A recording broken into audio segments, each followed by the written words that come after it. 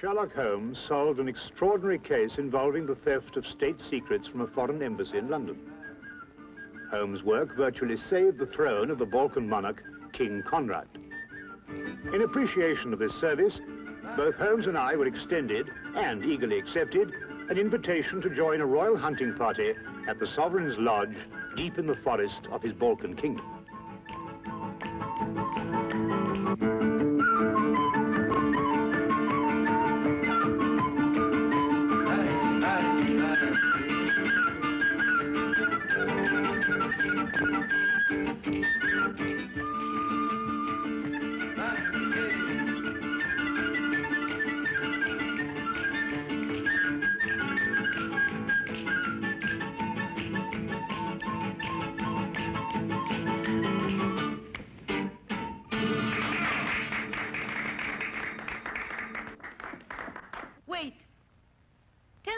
Fortune. Not mine. Let's hear Prince Stefan's. Afraid of your future, cousin? I'll tell you that when I've heard yours. Don't worry, Conrad. I'm going to have a long, peaceful life. Tell them, girl.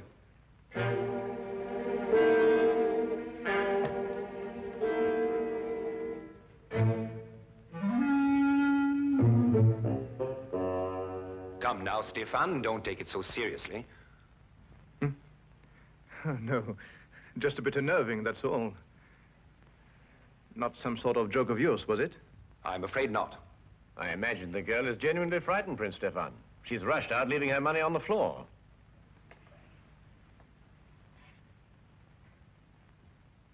Let's forget all this. Let's drink a toast to, I can't think of anything. We've drunk to our guests and to everybody's country. To beauty, Your Highness.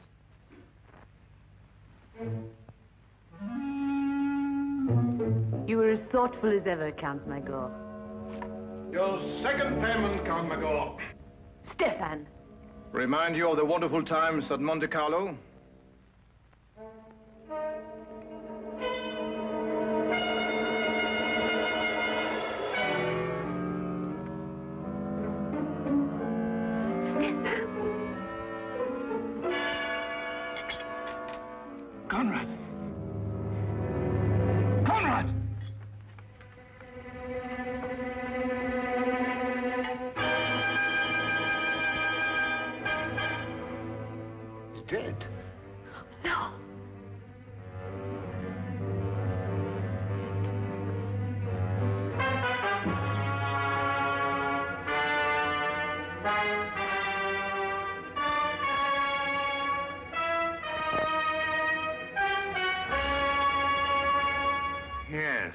Poison. But you can't tell what kind without a post-mortem. Watson, do you think it could have been in his wine glass when we drank that last toast? Yes, could have been. Have to be very quick acting. Hmm. Indeed, it seems almost incredible that one could murder so quickly and so smoothly in front of so many witnesses. You know, Holmes, I've come to the conclusion that these people are raving mad. I haven't had a quiet minute since we first came here. The question, Watson, is who had the greatest motive? Even the king is capable of it, if the reason were great enough. Come in.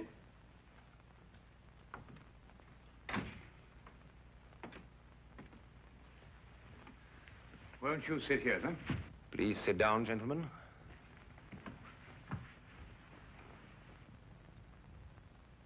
Great shock. Terrible. But I'm afraid the consequences will be still more tragic. What?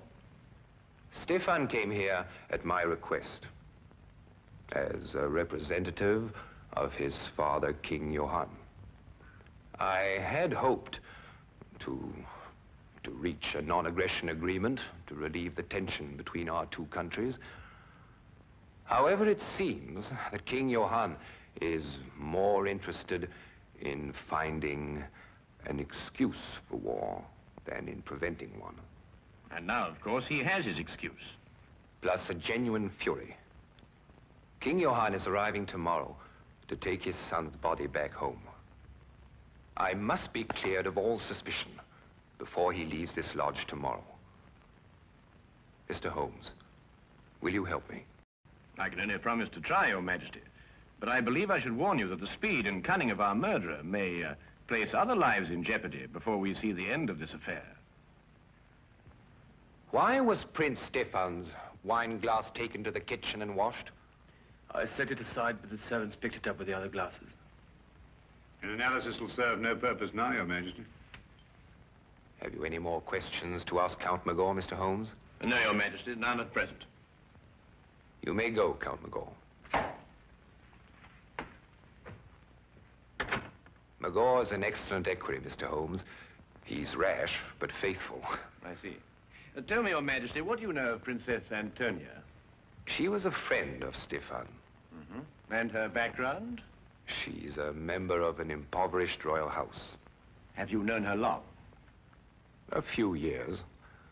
We met at Monte Carlo. In fact, I fell in love with her there. No surprise. Everyone did, including Stefan. She was attached to, to another man, whom I respected, and I was discreet.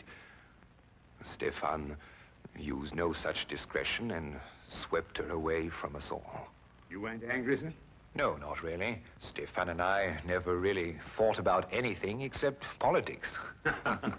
That's a lie. Or can't you remember as far back as this morning? what do you mean, Antonia? Perhaps I was mistaken. You've made an accusation. I apologize. If you should require me again, Mr. Holmes, I'll be in my rooms. Very well, Your Majesty. I'm leaving too, Your Majesty. I wouldn't want you to think I spoke behind your back. Good night, gentlemen. Perhaps you should go and have your palms read tonight. There's a gypsy who tells amazing things. I say, Holmes, what's she getting at? Well, you know, Watson, it might be interesting to find out. Yes, it might be very interesting. The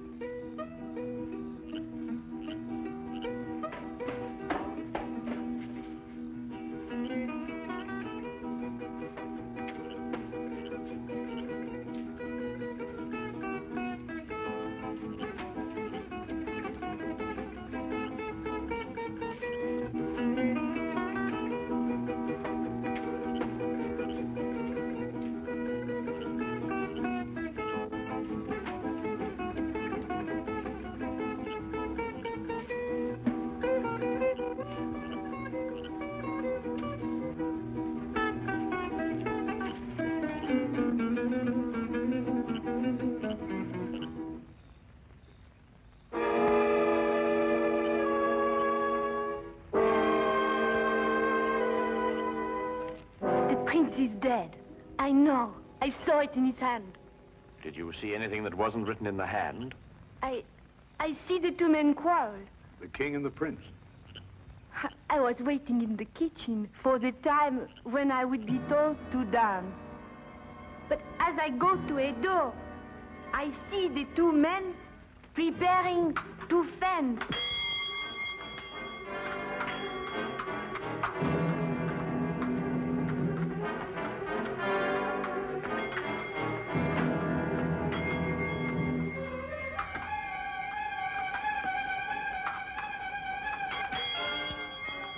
Count Magor. Ten gold florins on Prince Stefan. Taken, Princess, and as good as won. Quick with your parry, Stefan.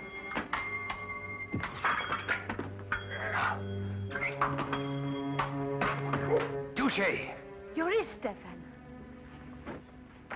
Miss Crutch? You'd better have it dressed. Count Magor, Your Majesty? fetch your napkin from the table. you need fencing lessons, Stefan. Your reflexes have slowed down. I may need fencing lessons, but at least I need no lessons in sportsmanship. What do you mean?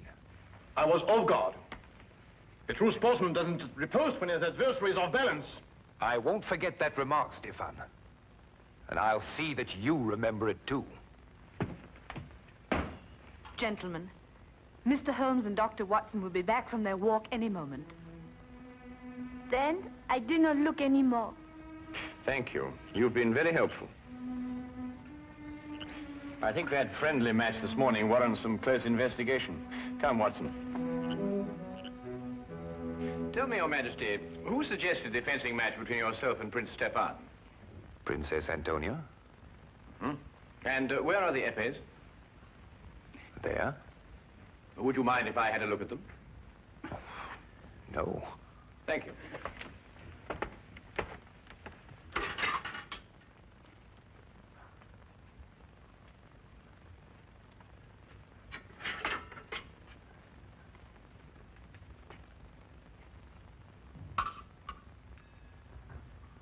Is this the epee your majesty used? Yes. Did you have the choice of weapons? Yes. I note that the tip of this epee has been dipped in poison. You perhaps misunderstood me earlier, Mr. Holmes. My request and your orders are to clear me, not convict me.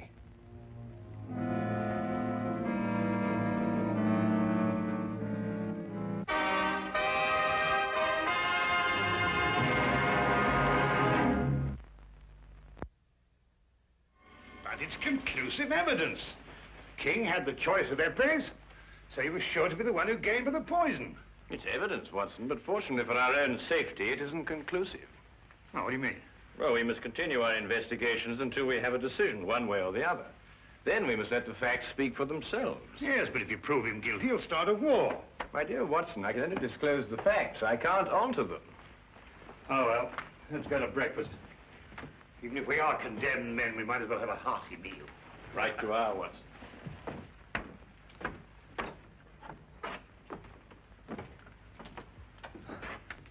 Yes, that's true. Go back. Do you remember what you called me in Monte Carlo? A vagabond princess. and an ambitious royal tramp. You wanted just one thing for yourself a throne. I still want one. Conrad, I saw you with the epées yesterday morning, before you fenced with Stefan. Oh, the hilt of one of them was loose, and I. I haven't told Mr. Holmes yet, and I won't. If If what?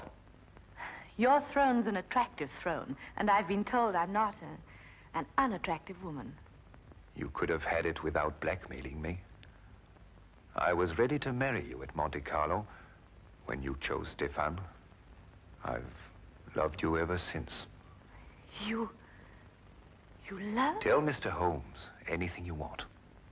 Conrad, I didn't know. Get out. Get out.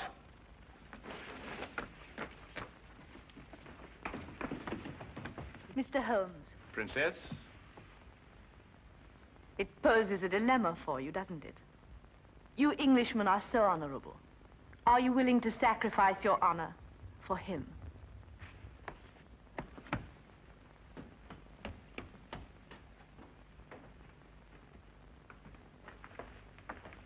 You heard? Yes, Your Majesty. I did not kill Prince Stefan. And yet the circumstantial evidence could convict you in a court of law, you know. Mr. Holmes, you're a very dangerous man. Have I your word that when King Johann arrives, you will suppress any evidence you may have against me? No, Your Majesty. You're placing yourself and Dr. Watson in jeopardy. I realized that before I started my investigations.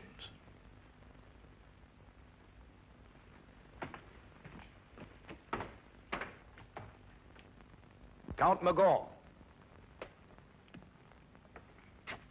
Your Majesty? see that Princess Antonia is confined to a room. Mr. Holmes and Dr. Watson are under arrest. But look here, Your Majesty, we're British subjects. At the moment, that is not too important.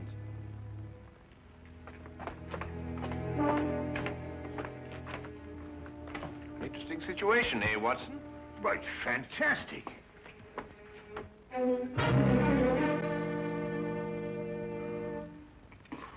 Why, blasted Holmes, they can't throw us into prison like this without a charge or a reason. I'd wager they could. Well, they have. That's what I mean. Why else should he ask you to investigate the case for him, Holmes? You couldn't help but find him guilty. We haven't found him guilty, Watson. It's only circumstantial evidence. Yes, but you yourself said that was enough to convict him. Yes, but we've missed the most significant point. The motive. Mm-hmm. Well, perhaps it just isn't obvious. Who gains the most by Stefan's death? Um, uh, well, no one. Exactly. And who loses by it? Well, now, let me see. Uh, Princess Antonia loses a throne. And King Conrad throws his whole nation into a war for which he is totally unprepared. Uh, that brings us to Count Magor. Magor? Well, he loses nothing. Mm-hmm. It would appear so, wouldn't it, Watson? What have you got on your mind, Holmes? Watch for the guard, Watson, and tell me when he comes this way. Right. Watson, do you remember what Stefan said just before he collapsed? No, I don't remember, except that he... Well, he was rather overshadowed by the death. But he threw the gypsies' money to Magor and then said something about a second payment. God. What's that in your nose, Watson? Eh? Ah. Very neat, eh? Oh, look, and another one behind your ear. That's two. Really, Holmes, this is no time for palm tricks. Hmm. I think you're quite right, old man. Hey, come, come. like the trick? Nose? Uh-huh. Yeah? Uh-huh. Yeah. Uh, yeah. See? There's the coin. You take, and... Huh? Good. Mm-hmm.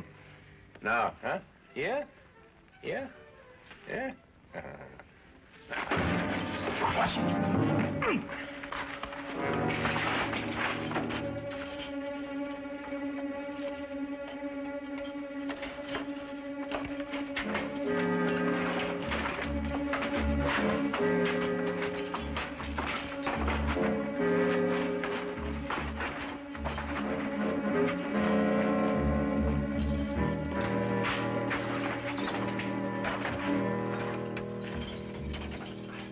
Now? First we free Princess Antonia. Come on.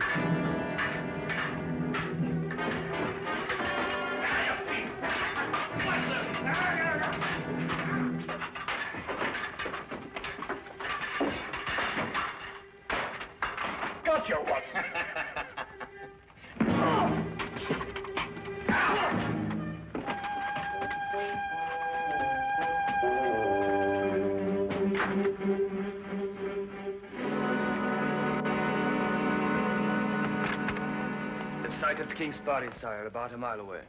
What can I tell him, Magor? Tell him nothing, Your Majesty. He has no proof against you. Oh, He'd start a war merely on suspicion. I need proof of my innocence.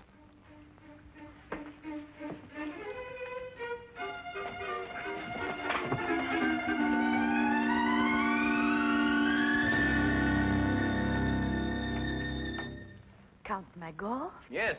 But, Holmes, he's not involved in all this? He could have put the poison on the épée. No. After all, how would he know which épée the king would choose? Sheer logic eliminates the count. Hmm. Not if the épée was poisoned after the duel, Watson. You mean to throw suspicion on the king? The wine glass, perhaps? Hmm. I think not, Watson. Princess, when Prince Stefan received the scratch, Who dressed the wound? Magor. We must go down to the hall immediately, and we have little time, Your Highness. But Holmes, you can't prove anything. All the dressings have been burnt. You haven't a scrap of evidence. Well, evidence is an interesting thing, Watson. Sometimes it can be recreated. Uh, shall we go, Your Highness? Yes. Thank you. Follow me.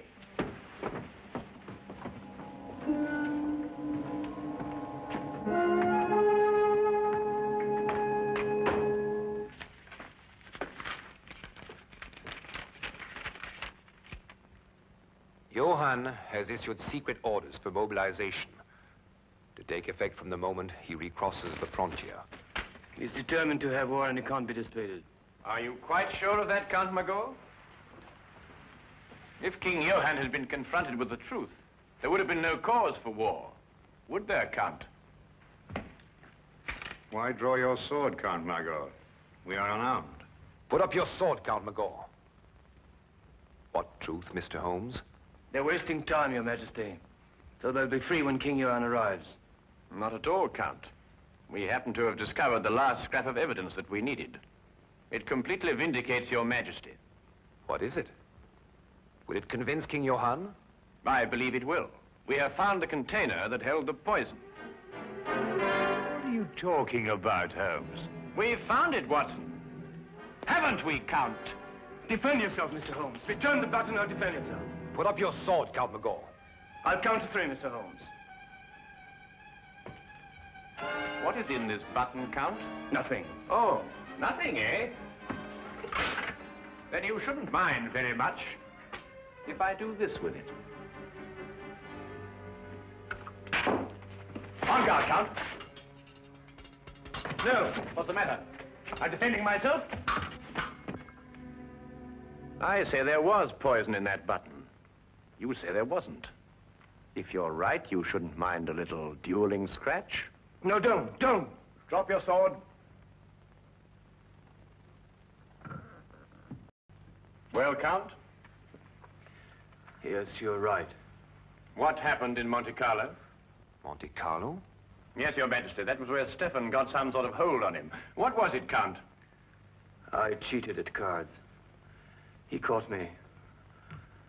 He took my honor and the woman I loved.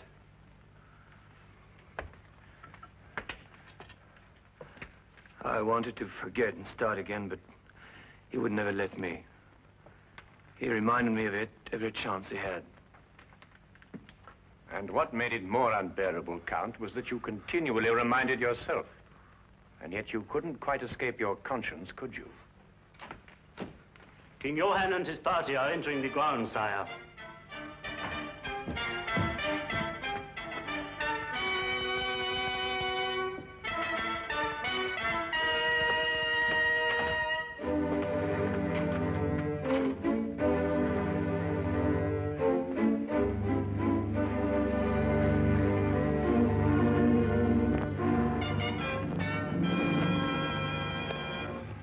Quite frankly, Holmes, I should be glad to get back to London again and work with Lestrade.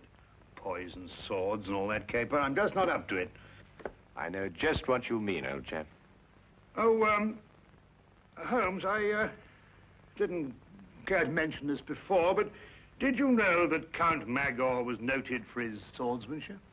Oh, yes, yes, I seem to have heard about it somewhere. Oh. Well, well, uh, no, no offense, of course, but I mean, I, I've fenced with you, you know, and I mean, oh, you're, you're good enough, but, uh, well, you're not that good. I mean, to stand up to him like that. Oh, well, yes, I knew that, Watson, but uh, fortunately, he didn't. No, but I mean, what would have happened if he'd called your bluff? How how long do you think you could have lasted with him? Well, let's see now, about uh, 30 or 40 seconds. But then in every game of bluff, of course, there's a certain element of risk, or it really isn't much fun, is it? Yes. I shall be glad to see dear old Lestrade again. Well, Don't ever tell him, Watson, but so will I. So will I.